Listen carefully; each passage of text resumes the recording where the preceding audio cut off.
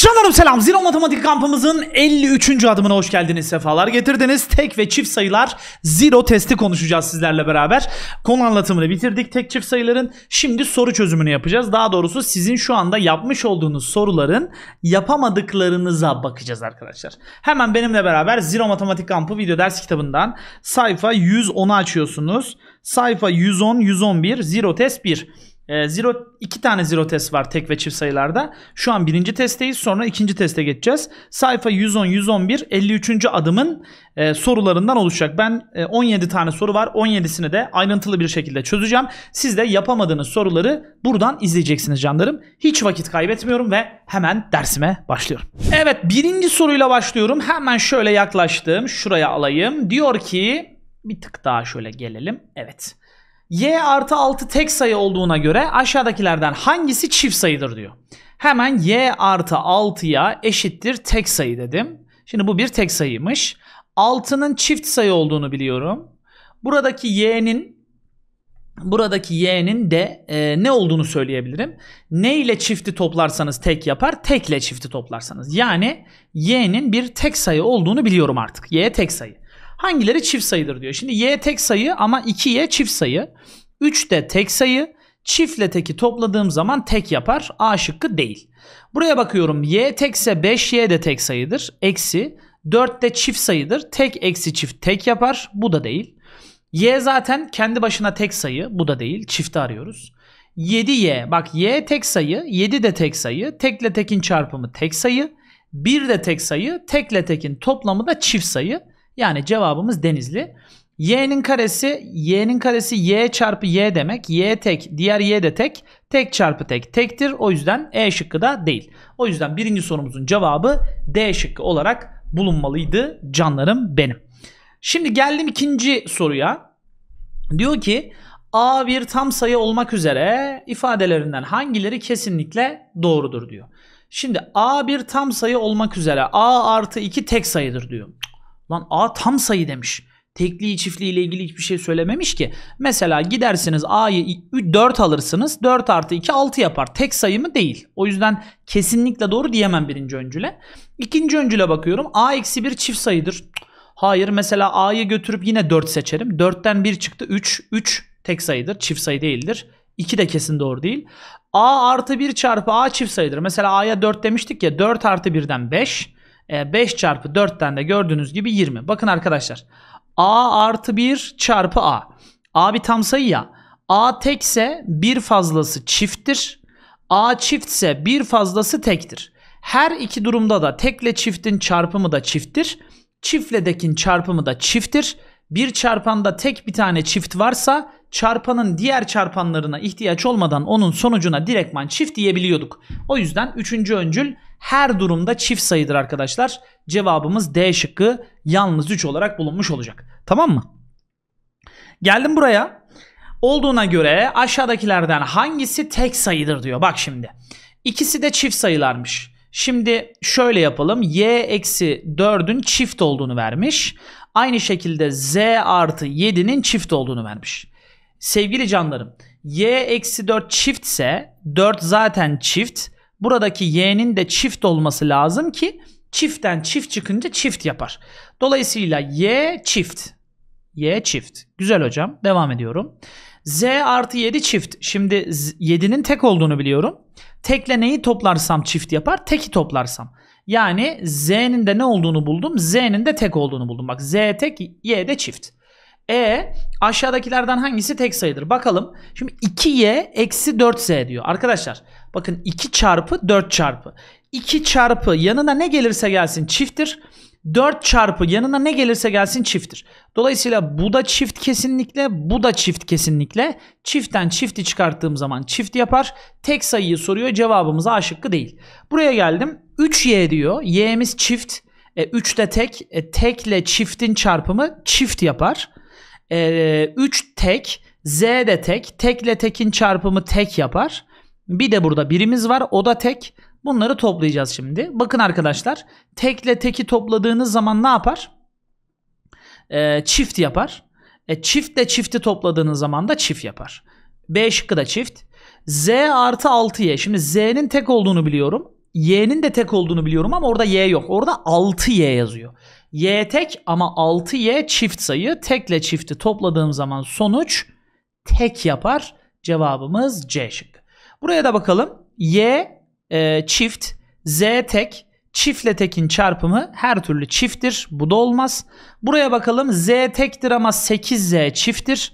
Y de, te, e, y de çift değil mi? Y de çift. E çiftle çifti topladığımız takdirde çift yapar. Tek değil. E şıkkı da elenmiş olur. Cevap C şıkkı olarak bulunmuş olacak. Tamam mı? 4 ile devam ediyorum.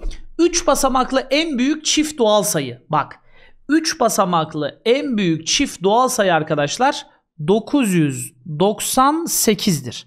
3 basamaklı en büyük çift doğal sayı. Şimdi 2 basamaklı en küçük tek doğal sayıya bakacağız. En küçük tek doğal sayı arkadaşlar en küçük tek doğal sayı ama 2 basamaklı olacak. O zaman o da 11. Bunların toplamını soruyor. Bunları topladığımız zaman ne yapar? 1009 yapar. Doğru cevabımız B şıkkı olarak bulunacak. Geldim 5'e.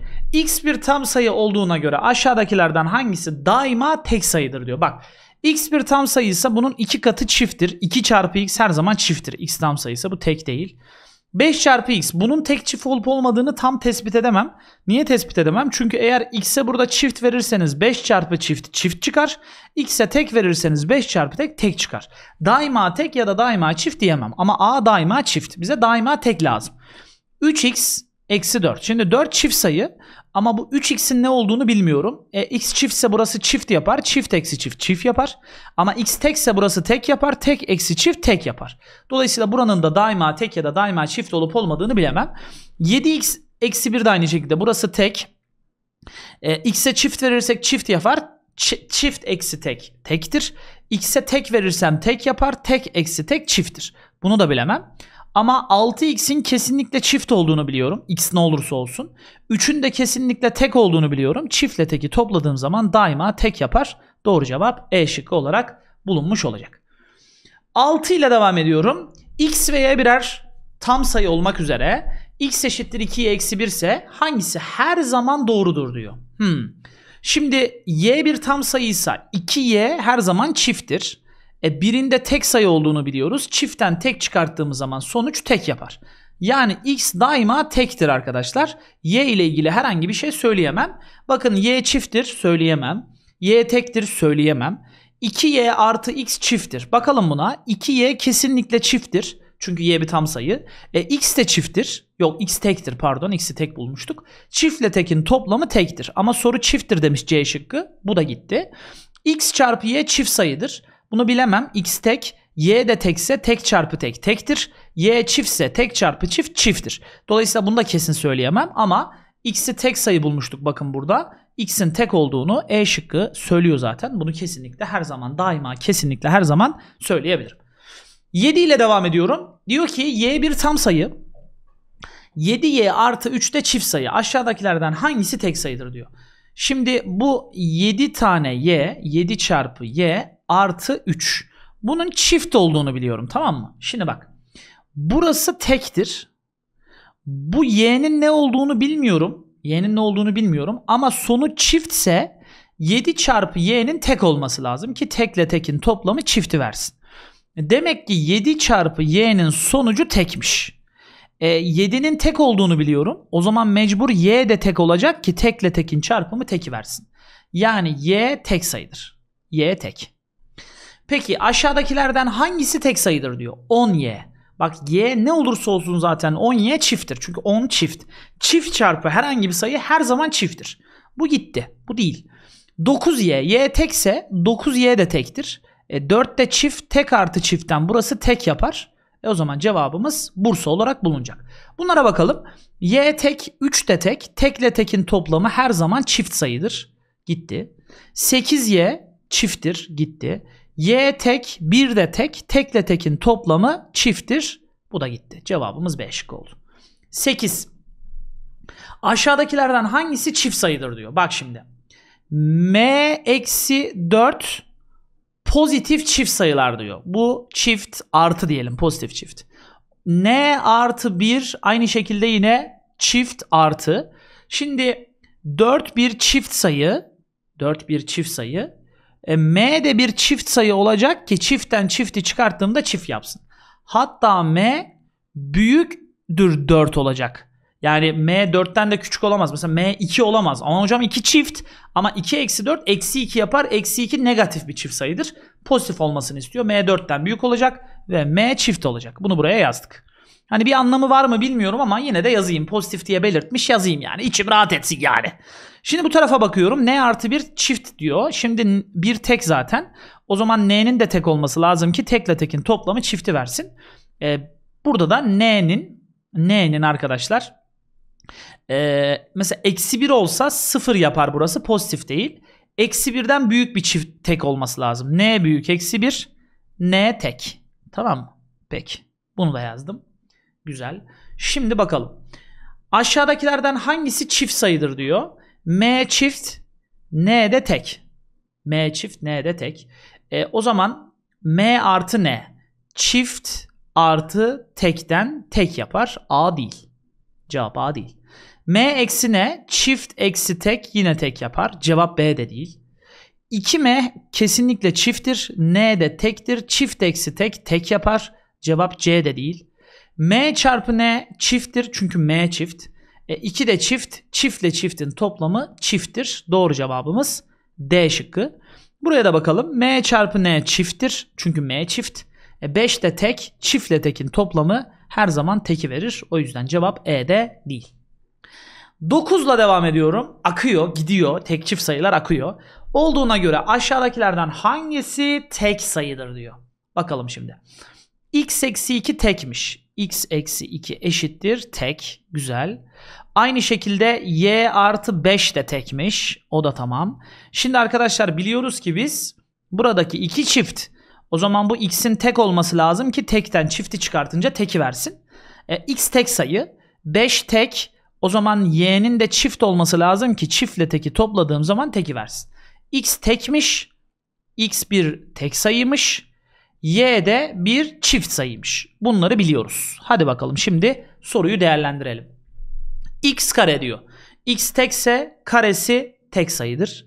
y çiftse karesi çift sayıdır. Topladığımız zaman tek artı çiftten teki verir. Doğru cevabımız direktman A şıkkı. Bunlar niye değil? Bir e, tek sayının kübü tektir ama iki katını aldığımız için burası çifttir. Y karede çifttir. Çift eksi çift de çifttir. Cevap B değil. Teki arıyoruz. 2y kare diyor. Kesinlikle çift. 2'nin katı çünkü. x kare tektir. E 1 de tektir. Tek eksi tek çifttir. Çift artı çift de çifttir. Cevap C de değil. E, y'nin kübü çifttir. Çiftin kübü çift. x çarpı y çift çarpı tek çifttir. Çiftle çiftin toplamı da çifttir. D de değil cevap. Y çifttir. E, y ile 2'nin toplamı çiftle çiftin toplamından çifttir. X de tek, çiftle tekin çarpımı çifttir. Cevap o yüzden de E şıkkı değil arkadaşlar. Tamam mı? Peki 10'la devam ediyorum. T tam sayıysa aşağıdakilerden hangisi daima tek sayıdır? Bakalım. E, 9T artı 4. Arkadaşlar 4 çift sayı. T de eğer çift yaparsa T'ye çift dersek T tam sayı diyor. T çift sayı mı? Olabilir. T tek sayı mı? O da olabilir. Tek de olsa Ha bak çift olsa bura çift çıkar. Çift artı çift çifttir. T tek olursa bura tek çıkar. Tek artı çift tektir. Yani A'nın cevabı çift de çıkabiliyor, tek de çıkabiliyor. Her zaman daima tek sayı diyemeyiz. A elendi. T artı 7. Şimdi 7 tek sayı. A çift ise çift artı tekin toplamı tektir. E, T tekse tek artı tekin toplamı çifttir. Yani hem tek hem çift çıkıyor. B'ye daima tek sayı diyemeyiz. Buraya geldim. 6 üzeri T daima tek sayı mıdır acaba?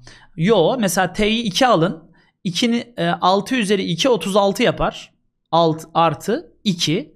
T'yi 2 aldık ya. 36 artı 2 ne yaptı? 38. 38 çift sayıdır. Daima tek diyordu. O da elendi. O da gitti. Buraya bakalım. T kare. Şimdi e, T kare artı T artı 1. Şimdi T tek olsun. O zaman karesi tek. Kendisi tek. Bir de artı 1 var. O da tek. Tek artı tek artı tek. E t çift olsun o zaman karesi çift. Kendisi de çift artı tek. Bak şimdi tek artı tek çift. Çift artı tek tek. Çift artı çift çift, çift artı tek tek. Her iki durumda da yani D şıkkında T'nin tek olduğu durumda da çift olduğu durumda da sonuç tek çıkıyor. O zaman cevabımız daima tek olduğu için D. 10T çifttir. 2 de çifttir. Çiftten çift çıkarttığımızda E şıkkı da çifttir. O yüzden E de olmaz arkadaşlar. Onu da böylece halletmiş oldum. Geldim 11'e. Diyor ki aşağıdakilerden hangisi daima çift sayıdır diyor. T tam sayı. Daima çift sayı olacakmış. Peki. Şimdi bakalım buna. T'yi tek alalım arkadaşlar A şıkkında. O zaman 3T kare tektir. 5T tektir. 1 de tek. Tek artı tek çift. Çift eksi tek tek. Bak A'da eğer T'yi tek alırsanız T yazdım T. T'yi tek alırsın. Küçük T bu değil mi? Küçük T'yi tek alırsanız A şıkkı tek çıkıyor. Daima çift Hayır T'nin T tam sayı. T'nin tek olduğu durumda var. Çift olduğu durumda var. A şıkkı daima te, çift olmaz. Tek olduğu durumda var. E, T'nin tek olduğu durumda T kare de tektir. B de olmaz. T'nin tek olduğu durumda tek artı tek eksi tekten sonuç tek çıkar. T'nin çift olduğu durumda çiftin karesi çifttir. Pardon tek eksi tek çifttir ya çok özür dilerim. Tek eksik tek tek tek tek tek tek tek T tekse tek eksi tek çift. T çiftse çift eksi çift yapar. Yine çift. Bakın C her türlü çift çıkıyor. O yüzden cevabımız C. T'nin kübü eğer T tek sayıysa kübü de tektir. 4 de çifttir. Tek artı çiftten tektir. Bak çift çıkmadığı bir durum var. O yüzden daima tek sayı ya da daima çift sayı diyemeyiz. D de elenir. Buraya bakalım 7T. Şimdi T'nin tek olduğunu düşünün. 7T tek olur. 7 de tek. Tek eksi tekten sonuç çift çıkar. Ama T'nin çift olduğunu düşünün. 7 çarpı çift çifttir. Çift eksi tekten sonuç tek çıkar. Yani E şıkkının çift olduğu durumda var, tek olduğu durumda var. Kesin bir şey bilemiyoruz, daima diyemiyoruz. O yüzden cevabımız C şıkkı olarak bulunmuş oluyor arkadaşlar. Tamam mı? 12 ile devam ediyorum. Diyor ki Z tam sayı 5Z artı 1 çift sayı. 5Z artı 1 eşittir çift sayı. Şimdi hemen bakıyorum. 1 zaten bir tek sayı. Z de tam sayı. Burası da çift. O zaman 5z'nin tek olması lazım ki tekle teki topladığında çifti versin. Demek ki 5 çarpı z sayısının sonucu bir tek sayı. Bu bir tek sayı. E, o zaman buradaki z'nin ne olması lazım arkadaşlar? Tek sayı olması lazım. Tekle tekin çarpımı tek gelsin. Z tekmiş. Dikkat. z'nin dördüncü kuvveti. Tekin dördüncü kuvveti tektir. Çift sayıdır diyor. a değil. 2z her türlü çifttir. Bir de tektir. Çift eksi tek tektir. Cevap B de değil. Z'miz tektir. 3 de tek. Tekle tekin toplamı çifttir. Cevabımız C. Z'nin karesi tekin karesi her zaman tektir. Çift değil. 5 çarpı z kare tek. Ez 5 de tek. Tek çarpı tek tektir. E de değil. Cevabımız C şıkkı olarak bulunmuş olacak. Tamam. 12'yi de böylece halletmiş oldum. Geldim 13'e. Şimdi x artı 4 çift sayı diyor. Bak x artı 4 eşittir çift. Bak şimdi x artı 4 çift. E 4 de çift o zaman mecburen x de çift. Çiftle çiftin toplamı çifttir çünkü. x'imiz çift. O zaman 5x'imiz çift. Çünkü x'imiz çift. E 6'mız da çift. E çiftle çiftin toplamı da çift. O zaman arkadaşlar şunu kesinlikle biliyorum. x çifttir. Aynı şekilde y de çifttir. Bu ikisini tespit ettim. Soru ne soruyor bana? Aşağıdakilerden hangisi tek sayıdır diyor. Şimdi çiftin 5. kuvveti çifttir. A tek olamaz. Çiftin 5. kuvveti çifttir. Çiftin 3. kuvveti çifttir. Çift eksi çift çifttir. Cevap B de olamaz. Tek diye soruyor. Çiftin 5. kuvveti çifttir. Çiftin 3. kuvveti çifttir. Çifte çiftin toplamı çifttir. Cevap C de olamaz. Çiftin kübü çifttir. Cevap D de olamaz. Demek cevap E. 7 çarpı x çifttir. Y de çifttir. 5 de tektir. Çiftle çiftin toplamı çifttir. Çiftten tek çıkartınca sonuç tektir. O yüzden cevabın E olduğunu görebiliyoruz 13. soruda. 14 ile devam ediyorum. A pozitif bir tam sayı olmak üzere aşağıdakilerden hangisi daima çift sayıdır diyor. A pozitifse hangisi daima çifttir? Bakalım şimdi. Şimdi A'yı burada tek alalım. O zaman tek artı 4A çifttir. Tek artı çift tek yapar. Daima çiftlik gitti. A'yı tek alalım. Tek eksi tek sonucu çift verir. A'yı çift alalım. Çiftin üçüncü kuvveti çift eksi çiftten sonuç yine çift çıkar. Bak A pozitif bir tam sayı. Dolayısıyla ya tek olmalı ya da çift olmalı. B şıkkında A'yı tek alınca da sonuç çift alıyor, çıkıyor. Çift alınca da çift çıkıyor. O zaman B şıkkı kesinlikle daima çifttir. Diğerlerine bakalım. Bakın buranın çift çıkmadığı bir durum vardır. Eğer biz burada A'ya çift verirsek 5 de tek olduğu için çi- tek eksi, tek artı çift çifti teki verir. Çifti vermez. Dolayısıyla C şıkkı gider. Buraya baktığınız zaman 6'nın kübü arkadaşlar 6 çift sayının kübü çifttir. Burası çift. Ama biz eğer a'yı tek alırsak tekin karesi tek, tek çarpı 5 tek, tek eksi çift teki verir. Çifti vermez. Bu da gider. Şimdi 3'ün kübü tekin tekinci kuvveti tektir. Eğer a'yı da çift alırsak çift artı tek teki verir. Halbuki sonuç çift olmasını istiyordu. O yüzden cevap da daima çifte uymaz E şıkkı. O yüzden cevabımız B olacak 14. soruda. Geldim buraya M ve N pozitif tam sayılardır. Aşağıdakilerden hangisi kesinlikle çifttir diyor. Şimdi 4M her zaman M pozitif bir tam sayıysa çifttir. E 7'nin de tek olduğunu biliyorum. Çiftle tekin toplamı her türlü tektir. Yani arkadaşlar N sayısı bir tek sayıdır. Bunu bulduk. Şimdi bakalım hangisi kesinlikle çift sayıdır diyor. Hmm. M üzeri N bunu bilemem arkadaşlar. N tek mesela N3 ama M2 ise 2 üzeri 3 8 M3 ise 3 üzeri 3 27. Çift de çıkabilir tek de çıkabilir A şıkkını kesin bilemem. M üzeri N artı N üzeri M. Bu kesinlikle çift sayı mıdır? Şimdi N tek N'yi 3 alalım mesela. M üzeri 3 artı 3 üzeri M. Şimdi 3 üzeri M, M pozitif bir tam sayı olduğu için 3'ün pozitif kuvveti tektir. Tekin pozitif kuvveti. Buranın çift çıktığı durumda sonuç çift artı tekten tek yapar. E peki M üzeri 3 çift çıkamaz mı? E çıkar. M'yi çift alırsanız çift çıkar. O yüzden arkadaşlar onunla ilgili herhangi bir yorum yapamazsınız. Dolayısıyla e, B şıkkı elenir. Gider. Buraya bakalım. Yani tek çıkabiliyor M şıkkı. Kesinlikle çift diyemeyiz B şıkkına. C'ye bakalım. N üzeri 105. Yani tek üzeri 105. Tekin her kuvveti tektir. Bura tek. Her pozitif kuvveti. Buraya gelelim. N üzeri M. Bak yine N'nin pozitif kuvveti. Bu da tektir. Tek eksi tekten C şıkkı kesin çift. Cevap C'dir. Buraya bakalım. N sayısı tek sayı. 5M'nin ne olduğuna göre değişecek bunun sonucu. Eğer 5M çiftse daha doğrusu M çiftse 5M de çifttir. E, çiftle tekin toplamı da tektir. Çifti vermez. D şıkkı kesinlikle daima çift diyemeyiz. Buraya baktım. N üzeri M. N'nin pozitif kuvveti her zaman tektir. Tekin pozitif kuvveti. Ama buranın çift olduğu durumda çift artı tek teki verir. E buranın çift olması için de m'nin çift olması lazım. M çift olabilir mi? Evet m pozitif tam sayı demiş. Tekliğini çiftliğini bilmediğimiz için m'yi çift olarak da kabul edebiliriz. O yüzden E şıkkı m'nin çift olduğu durumda tek çıkar.